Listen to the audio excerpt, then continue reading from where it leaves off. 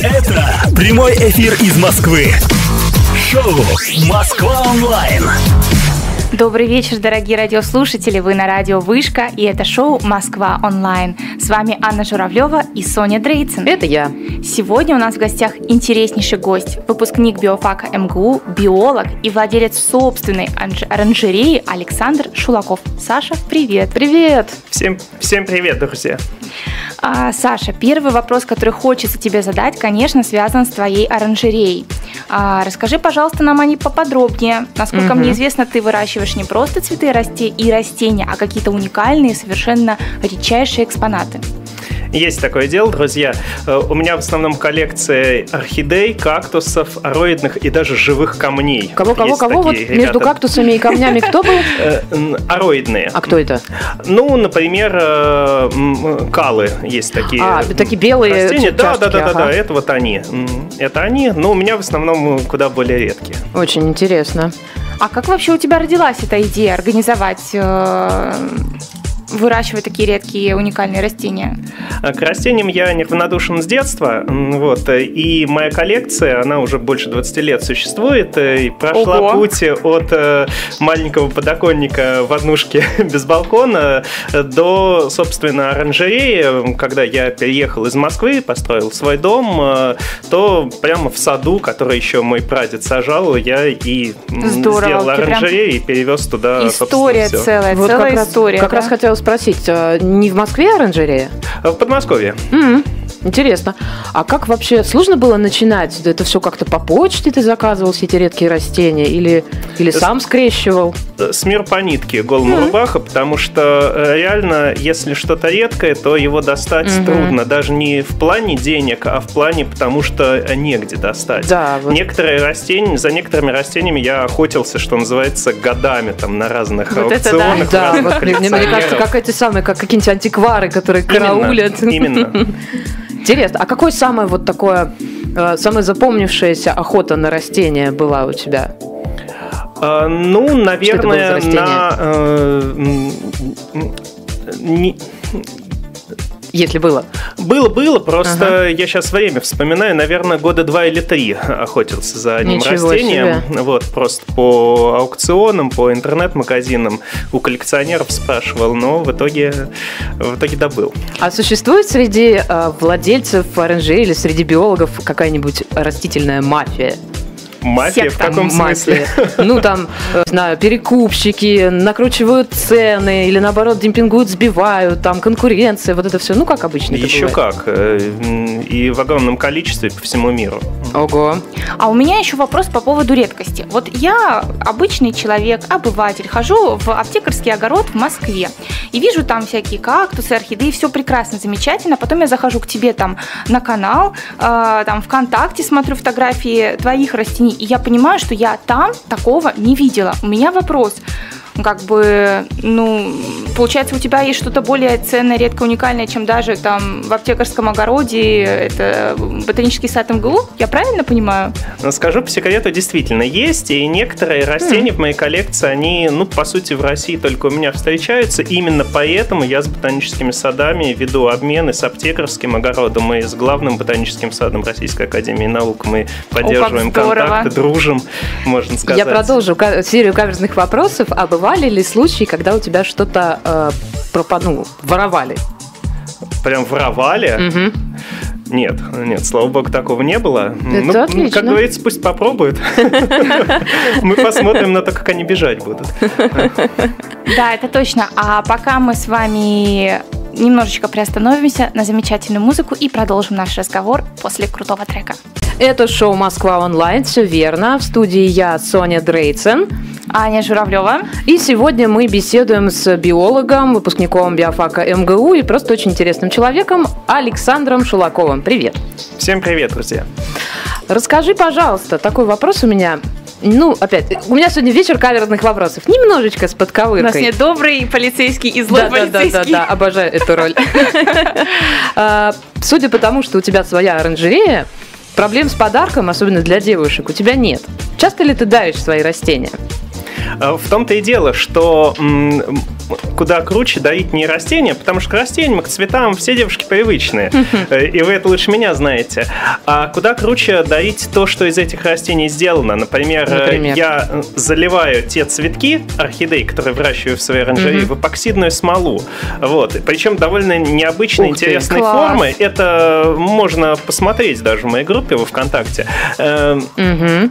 И в итоге получается, что какой-нибудь букет, он завянет через неделю, а эта штука, Это она правда. вечная. И причем еще и объемная. Это Интересно. здорово, очень красиво. Ин- Интересное наверное, хобби, да. Да. А какие еще у тебя хобби есть? Э, Хобби, учусь играть на гитаре, э, танцы, хасл, бачата, путешествия обожаю Ого. просто. Много где уже побывал? А, ну, хотелось бы больше. Но самое дальнее Ох, это понимаю. Борнео, Южная Африка. В Новом Свете ни разу не был, к сожалению. Мгм. Ну, может быть, еще удастся все-таки на нашем веку. А привозил что-нибудь, э, какие-нибудь растения из путешествий? Э, Когда можно было, привозил. То есть здесь э, дело в именно таможенных ограничениях. Если они позволяют, то привозил с большим удовольствием. Особенно если это поездки по России. Вот. э, И, соответственно, самое главное, чтобы растения, они не были э, редкими именно в природе. То есть если ты что-то в природе берешь, то книга. без вреда для популяции. Да, чтобы не выкапывать краснокнижные растения, А как которые в единственном экземпляре. Технически, то есть ты с кулечком земли? Э, Что-то с кулечком, что-то черенками. Все зависит от э, того, какое именно растение. Что-то с семенами. Слушай, ну столько увлечений у тебя, время-то как на все это находишь? С трудом. Понятно. Как и все мы. Как и все. Слушайте, ну я все-таки вернусь еще раз к растениям. Я э, начинающий садовод, так скажем. Э, я выращиваю растения у себя на балконе в нише из-под кондиционера. И поэтому У Саши меня... тоже все так начиналось. Да, да, да, я слышу. В первом эфире мы как раз об этом поговорили, да. Поэтому у меня вот некоторые вопросы для меня остались э, еще не э, раскрытыми. Вот, например, я видела у тебя в ВКонтакте и на твоем канале, что ты выращиваешь венерин башмачок, а он ядовитый. Вообще, э, насколько безопасно выращивать такие ядовитые растения у себя? Вообще, кстати, к слову о венерином башмачке, это, пожалуй, самая эффектная орхидея, которую можно выращивать в саду безо всякого укрытия. А насчет безопасности, ну, здесь дело подхода. Кто-то аккуратно выращивает все. У нас большинство растений на подоконниках ядовитые. Вот, а кто-то живет по принципу, что, мол, ребенок съел из миски кота, это проблема Это проблема кота. кота. Ну что ж, давайте мы пока в безопасности послушаем крутой трек и вернемся через пару минут. Добрый вечер, дорогие радиослушатели. Все верно, вы слушаете Москва онлайн. С вами сегодня Анна Журавлева, моя прекрасная соведущая Соня Дрейцен. Это я. И сегодня у нас в гос- гостях замечательнейший человек Александр Шулаков. Это биолог, владелец оранжереи и просто очень приятный человек. Всем добрый вечер. Еще раз. Да, Саша, а, что хотела у тебя еще спросить? А, Я тщательнейшим образом изучила твой YouTube-канал, изучила твой контакт, увидела много э, красивых фотографий цветов, которые ты выращиваешь. А, И многие из них, многие из них поражают, во-первых, своей невероятной красотой. а, И кажется, что это не земные растения, а вот растения с каких-то других планет. И своими дичайшими названиями, там что-то вроде офрис, шмелецветковая, ну Ого. вот что-то подобное, да. Вот скажи мне, с каким чувством после того, как ты выращиваешь там такую красоту, разнообразие, э, ты заходишь в обычный цветочный магазин, где стоят обычные розы стеной?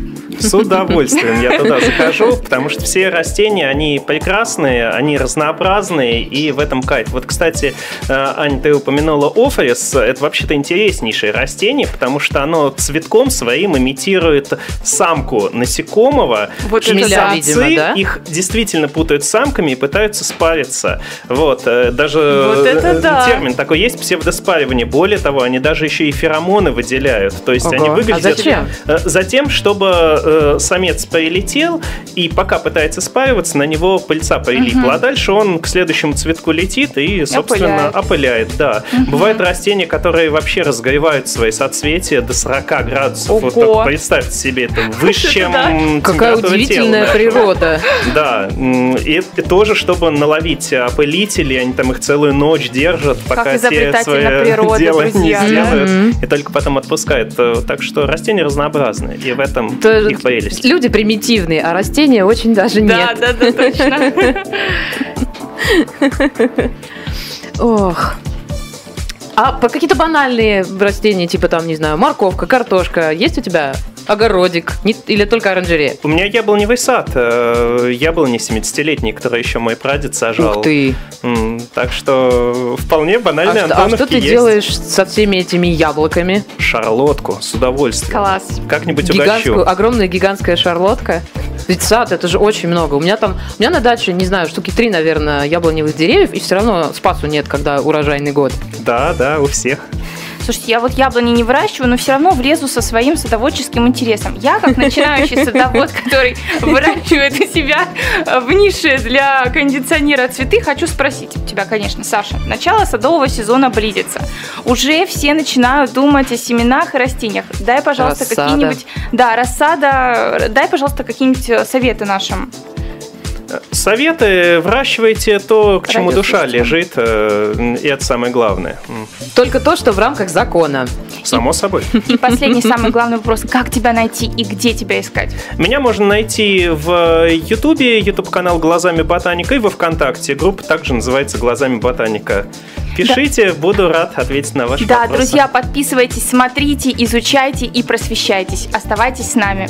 Саш, большое спасибо, это было очень интересно и очень познавательно. Я человек далекий от земли, но прям мне стало крайне интересно. Спасибо, что пригласили, друзья. До новых До встреч! новых встреч. Все, всем пока. Москва онлайн. На радио Вышка.